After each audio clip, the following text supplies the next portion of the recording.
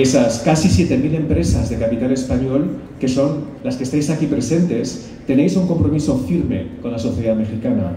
No solamente hacéis negocios, sino que también vuestras empresas luchan por mejorar las condiciones de vida de los mexicanos y las mexicanas. Y doy fe de ello al haber viajado por el país. De hecho, es casi un millón de puestos de trabajo el que habéis creado, los que habéis creado estas empresas. Y en este sentido, me gustaría destacar la creación en 2022 de la Comisión de Sostenibilidad de la Cámara Española de Comercio, que ya cuenta con 700 empresas. Es especialmente importante este dato porque refleja el compromiso de las empresas españolas con la responsabilidad social corporativa, con los derechos humanos y con los objetivos de desarrollo sostenible. Muchas gracias a la Cámara Española de Comercio, gracias a Antonio Basagoiti, gracias a Joana Torrens y por supuesto gracias a Álvaro Pastor, a Chus, a Alicia, a todo el equipo de la Oficina Comercial y Económica que permite dar acompañamiento a estas empresas. Otro aplauso para ellos, por favor.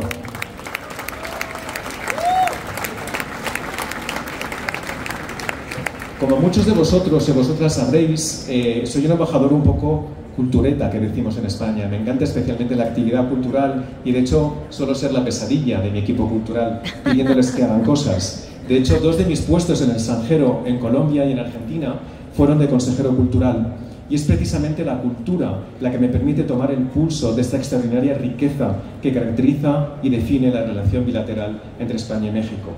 En estos últimos meses hemos tenido el privilegio de asistir como espectadores de lujo a grandes espectáculos de artistas españoles de primera talla como María Pajés, Leiva, Zetangana, Rosalía, Rafael, El Niño de Elche o Silvia Pérez Cruz y muy, muy pronto contaremos también con el gran honor de contar con Rodrigo Cuevas. ¿Por qué menciono a Silvia y a Rodrigo? Porque son ambos premios nacionales de músicas actuales. Queremos traer a lo mejor de nuestra cultura a este país, porque hay un público y siempre se reconoce y los artistas españoles se, se sienten especialmente queridos por vosotros, por el público mexicano. Además, esta actividad cultural me ha permitido cumplir algunos sueños casi de niño, como ha sido poder conocer a figuras ilustres de la cultura e intelectualidad de este país, como Juan Villoro, Eduardo Matos Moctezuma o el grandísimo Arturo Ripstein. Pero es que además todos los días, todas las semanas, hay lazos en el ámbito cultural y ahora mismo, no sé dónde estará y se habrá llegado, Gracia Perejeta, la realizadora española, está rodando ahora mismo una serie aquí.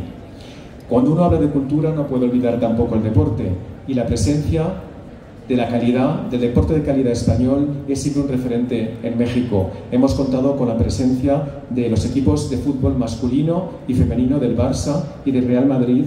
Tendremos en poco más de un mes a Carlos Alcaraz jugando en México y no puedo olvidar y le mando un muy cariñoso saludo a una de nuestras campeonas del mundo de fútbol, Jenny Hermoso, que juega en el Club de Fútbol Pachuca. Un aplauso desde aquí para Jenny.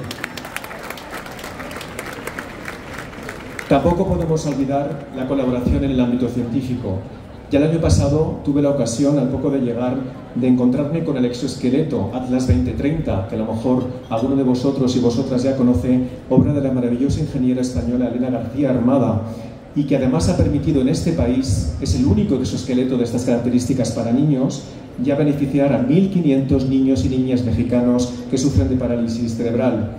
No os voy a hacer un spoiler, pero luego vamos a tener una demostración que os va a permitir comprobar de primera mano lo que es este exoesqueleto y lo que supone para la población de los niños y niñas con parálisis cerebral.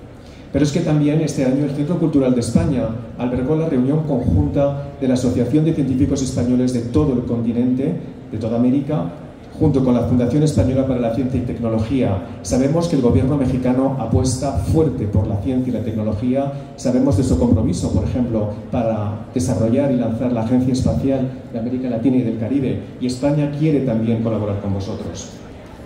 En todo este trabajo que os estoy contando, no solamente mío, sino todo mi equipo, he querido seguir siempre bajo la inspiración que os mencionaba el año pasado, esos cuatro principios que os recordaba eran la confianza con los amigos mexicanos, el respeto, el agradecimiento y la generosidad.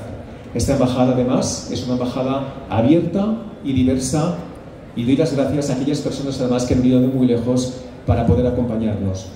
En este sentido, una creo que está por aquí, eh, que sé que lo ha tenido muy difícil para llegar hasta la residencia.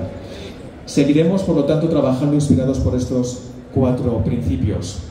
Me vais a permitir ahora, queridos amigos y amigas, porque no todo es alegre en esta elocución mía, seguimos con un conflicto terrible que afecta al corazón de Europa. Llevamos prácticamente 20 meses de guerra, provocada por la invasión ilegal por parte de Rusia del territorio ucraniano, que sigue costando cientos y miles de vidas.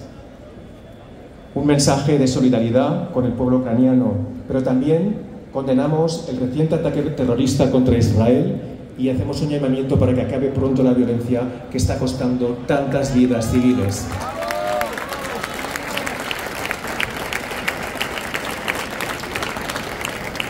Y por supuesto también, y recordaréis que mi, una de mis eh, encarnaciones anteriores fue director general de Asuntos Consulares, también un mensaje de cariño a aquellas poblaciones, a aquellos países que han sufrido grandes catástrofes naturales, son muchos, pero permitidme que mencione a tres ahora mismo, los terribles terremotos de Turquía y de nuestro querido vecino Marruecos, y también las, las terribles inundaciones en Libia que han costado miles de vidas humanas.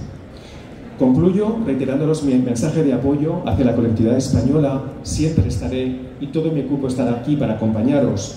Os voy a adelantar muy rápidamente algunos de los highlights de los que os hablaré en detalle el año que viene, pero no conviene olvidarlos. España será el país invitado en la Feria Internacional del Libro de Guadalajara.